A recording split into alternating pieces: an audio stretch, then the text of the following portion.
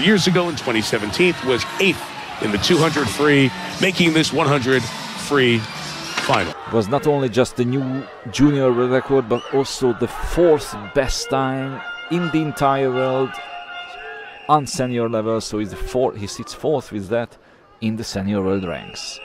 Let's see if he offers us something similar. A swim under 48. So far, the others couldn't go under 49.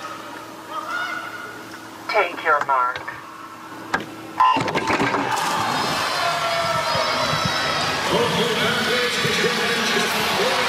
Here we go.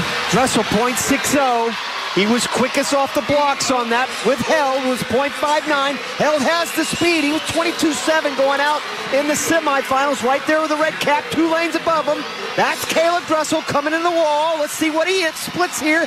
22.4 going out. The split of his junior record by one tenth under 13. It's even it's 22.97. It's even a good result in the 50 meter. Five meters to go. Dressel trying to hold off Held in six. Apple starting to close. He's right on that lane line. Caeleb Dressel in lane four to the wall and to Tokyo. A new junior world record 47.30. Amazing. Amazing.